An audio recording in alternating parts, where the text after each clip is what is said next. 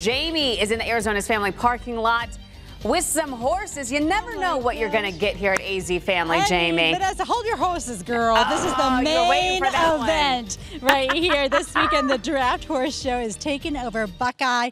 This is an event put on by the Western States Classic.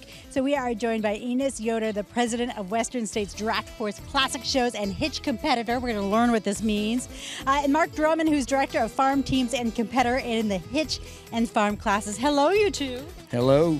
Hello. Okay, So tell me who you brought here and what is a draft horse?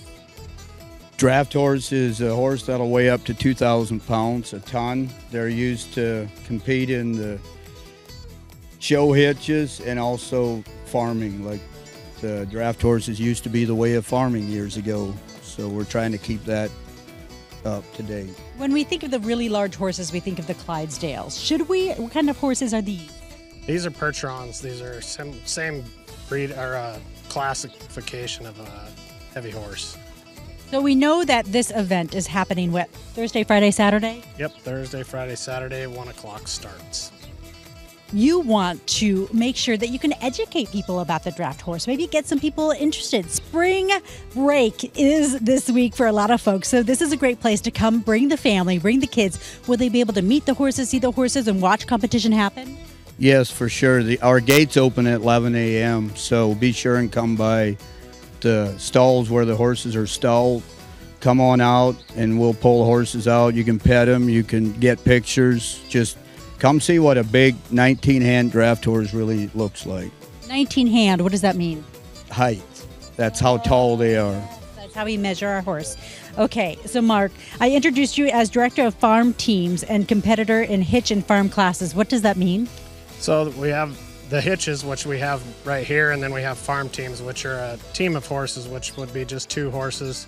And they do a farm team uh, feed race, an obstacle course. They have uh, mostly timed events with uh, basically normal farm horses. How big is this arena where you're competing? You're, you're bringing out six horse and wagon in the competitions? Yes, it's a 150 by 250, and you'll see up to 60 head of horses in the ring at one time competing. There'll be 10 of these six horse hitches in there competing head to head to head for uh, points for the classic series. So, what kind of things will be are, are you, um, I guess, being judged on? Are you trying to meet uh, the look of the horse, the gait of the horse? Yes, you want to see three teams alike moving together as a team, and then the motion of the front feet is very important. Headsets, just coming in one unit, and you will, from the bleachers, you'll be able to feel the the power going by with the hoof beats. Enos, we knew when you guys arrived because there was a giddy up. It was like a thunder rolling uh, as uh, you approached, and, and we could hear you guys from inside the studio.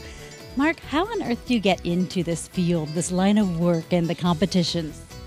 Uh, just have to have a passion for horses and a passion for draft horses for sure to, to get into it. With the competitions, uh, you said that these were used this way in farming. Are horses still utilized a lot in this way with farming, or no?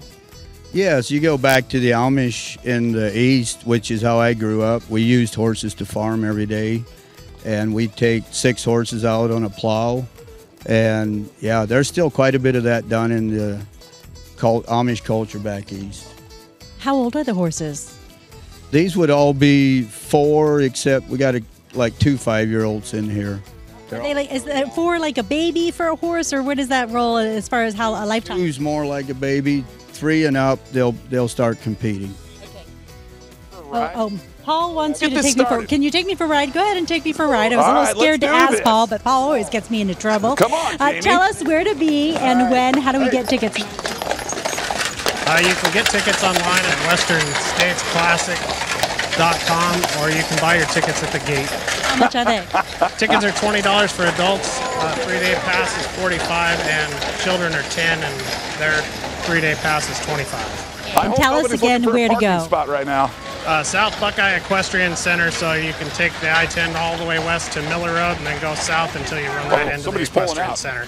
So Thursday, Friday, and Saturday is the competition. Again, the competition starts daily at one o'clock, and at eleven o'clock, They kind of open their doors. You can come in, meet the horses, take some photos. These horses are very well behaved. Do you know, they're they're not even stopping or hitting the vehicle. Oh my gosh, they're ready for a sharp turn. I think I see my car right now. Um, do these horses like working together in this way? Absolutely. They, yeah, we're always lucky to get good groups of horses that'll work together and work as uh, three teams into one. Thank you so much, uh, both of you, for being here. Thank you to our six horses. That is the news at three, everyone. The news at four is next. Giddy up. Have a good day.